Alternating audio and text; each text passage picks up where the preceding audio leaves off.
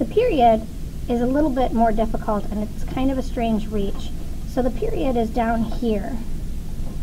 You're going to take your right ring finger and go down to press the period. So down to press the period. Be careful to keep the rest of your fingers on the home row.